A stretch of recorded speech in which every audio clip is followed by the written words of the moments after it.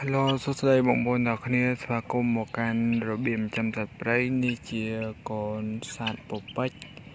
គឺខ្ញុំគឺអត់ចង់យកវាមកចិញ្ចឹមទេបងប្អូននិយាយតាមត្រង់និយាយនិយាយទាំងមុខស្ងួតហ្មងបងប្អូនទី1ដោយសារតែអាពពេចតែកន្លែងខ្ញុំដេកហ្នឹងគឺកូនវាមិនសាមញ្ញគឺធ្លាក់ពីលើដើមអឺពីលើដើមថ្នោតមកធ្លាក់កន្លែងសបុកវិញវាហ្នឹងណា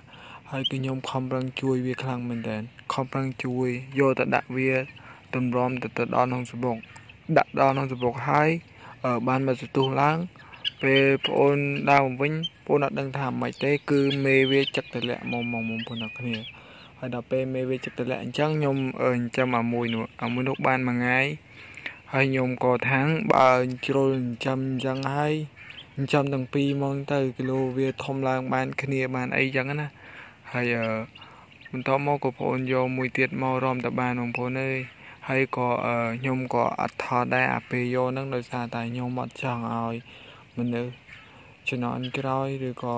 អ្នកដែលបានមើលវីដេអូមួយហ្នឹងគាត់ធ្វើតាមខ្ញុំទេបងប្អូនទាំងគ្នាដោយសារតែខ្ញុំចង់ឲ្យសត្វទាំងអស់ហ្នឹងវានៅព្រៃល្អជាងពេលនៅស្រុកក៏តែនៅព្រៃវាបានហោះហើរដើរលេងឆ្ងាយមែនក៏តែ វាអត់មានសុវត្ថិភាពទេក៏តែដោយសារតែអត់មានសុវត្ថិភាពដោយសារតែ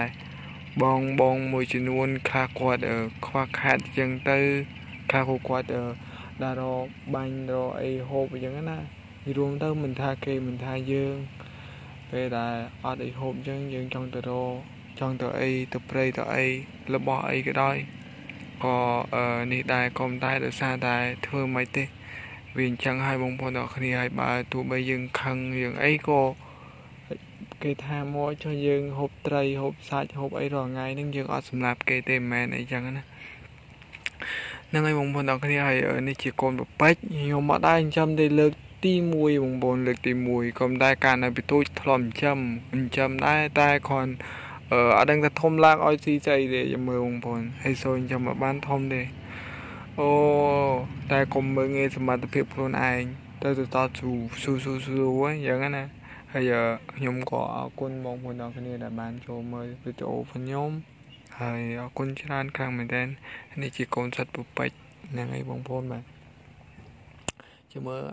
មានសកម្មភាពអីប្លែកៗបងនឹងថតចែកជូនបងប្អូនទាំងគ្នាមើលទៀតហ្នឹងហើយបាយបាយជួបគ្នានៅវីដេអូក្រោយជំរាបលា